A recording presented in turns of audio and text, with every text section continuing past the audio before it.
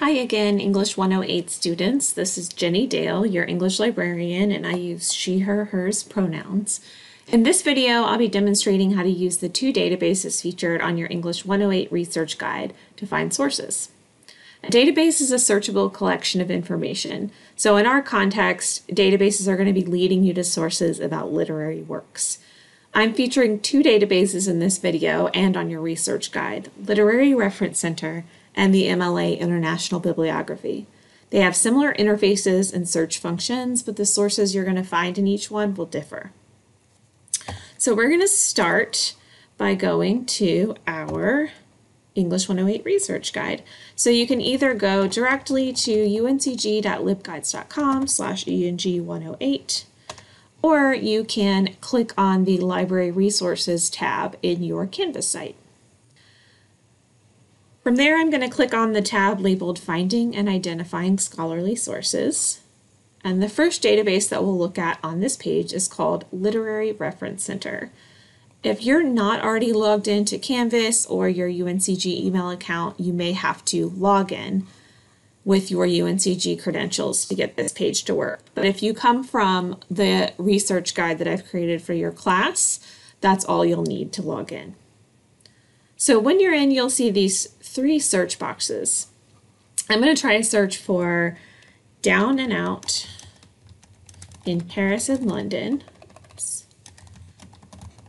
A text by George Orwell.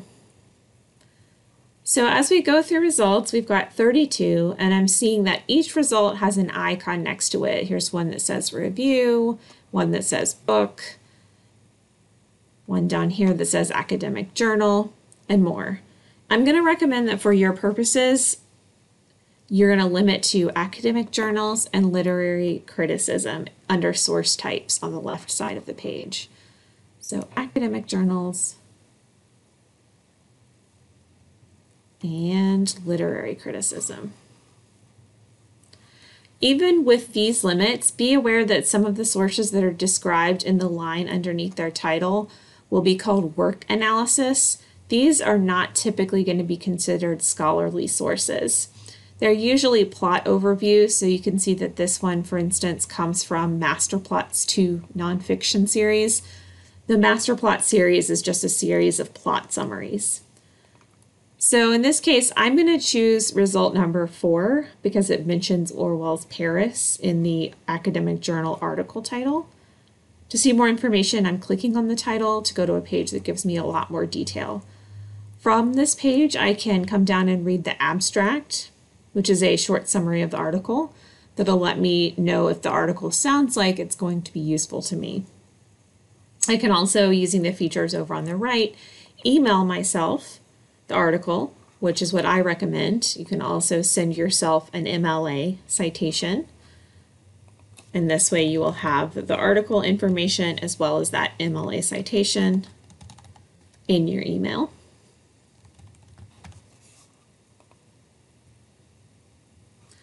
If you don't want to email it to yourself like I just did, you can always click on the permalink button and save the link that you see there in Google Docs or wherever it is that you're keeping track of your sources. Just make sure you don't try to save or bookmark the link that's up here in the address bar. It won't always work for you.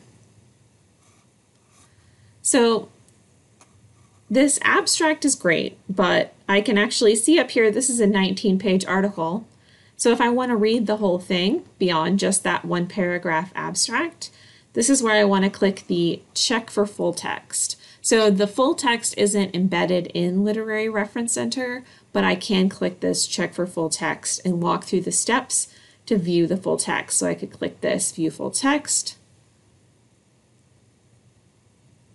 It's slowly taking me to a page here from Taylor and Francis online where I can click the PDF option. If a PDF is available, that's always what I recommend because it makes citation a lot easier. With the PDF, I can easily skim through to make sure this is kind of meeting those requirements of a scholarly source that I've described on your research guide. So we've got CM Stan as our author here, and they're affiliated with the Center for Philosophy, Arts, and Literature from Duke University. So definitely someone I would consider a scholar. As I'm going through, I'm also seeing lots of these uh, footnotes that indicate in-text citation in this case. And then if I get all the way to the bottom, again, this is a 19 page article, so pretty lengthy. I see that there is a full list of references explaining everything that was used in research for this article. The length of it, that 19 pages, also makes it clear to me that this is not just going to be plot summary of the primary sources.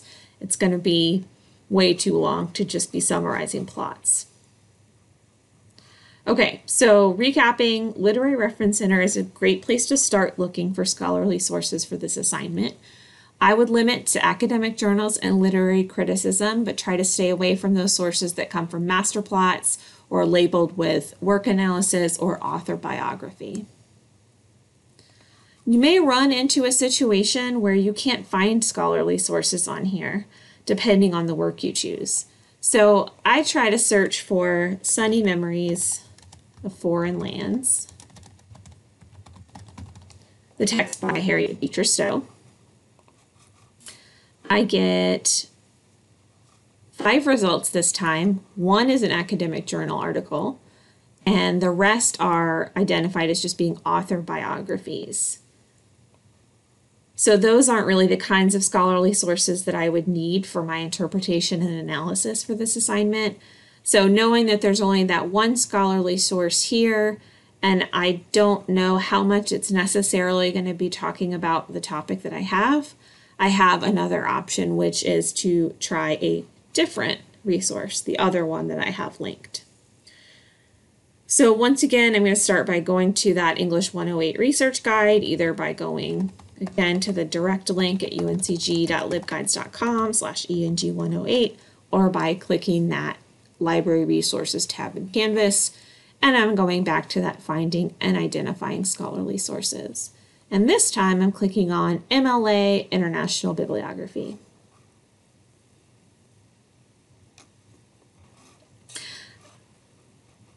All right, so I'm here in MLA. You'll notice that it looks pretty much the same, and I'm going to try my same search again.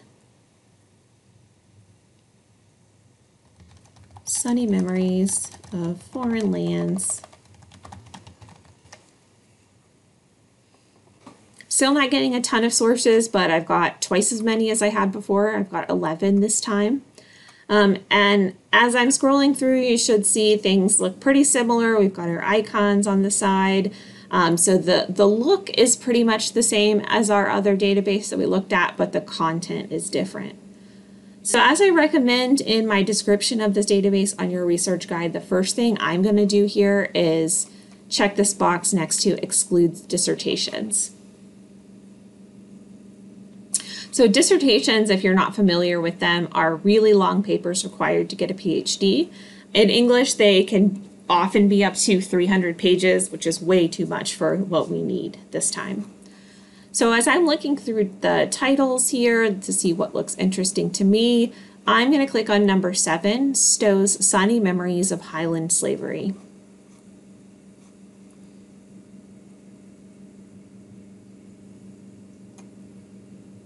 I see the book icon next to this before I clicked it, so I know it's not going to be a scholarly journal article, but it could still be a scholarly source. On the page with more information here, I can see similar options to what I had in Literary Reference Center. So I can email it to myself, I can look for an MLA citation with the cite button, oh, somewhere in here, there we go. And I can also get the permalink to bring me back to this page. What I don't have in this case is an abstract, so I may have to take a leap of faith here based on the title to assume that it might work. So I can see, by the way, down here in this document information section that they've identified this publication type as a book article. I would usually call this kind of thing a book chapter. So I'm going to check the full text like I did before, but this time I do have to take one extra step. So instead of just having a view full text link on this page, since this is a chapter from a book, I have to click one of these two places where it says check holdings in the library catalog. To see, this way I'm looking to see if we have it electronically, um, even though it's not in an article format. So here it looks like we do. I'm going to click on where it says view ebook and I'm just going to check the first one here, but you can play around and see which ones work or don't work for you. Here I am in the ebook and as I'm scrolling through the contents, I can see the chapter that I need, Stowe's Sunny Memories of Highland Slavery. So if I click on that, I can download the PDF from this point, but I also want to just take a look through here um, and see if I'm also, also seeing the information that I need to make sure this is scholarly. I'm definitely seeing citations, not only those notes, but I'm seeing some in-text citations clearly from the texts themselves. If I get to the end of this chapter again, this is another long one. As you'll see, most of the time scholarly sources in literature are going to be on the lengthier side but I do have a list of notes here at the end and a full list of uh, bibliographic sources so I can see exactly what's being cited. I can also, I know Judie Newman was the author of this. I can look at the notes on contributors in this book and see if I can figure out if Judie Newman is a scholar. And I see here Judie Newman is a professor of American Studies in the School of American and Canadian Studies, University of Nottingham. So definitely someone I would consider a scholar. So I would recommend exploring the MLA International Bibliography if you're not finding what you need in Literary Reference Center. If you need any help finding sources, you can always email me at jedale2 at uncg.edu you can find that information also on that ENG 108 LibGuide, research guide. And my information is here. You can also click schedule appointment to schedule a virtual appointment with me. And if you just have a quick question about access, you can also always go to the library homepage, library.uncg.edu, and click this chat with a librarian to be able to chat with someone in the library during the hours that we are open.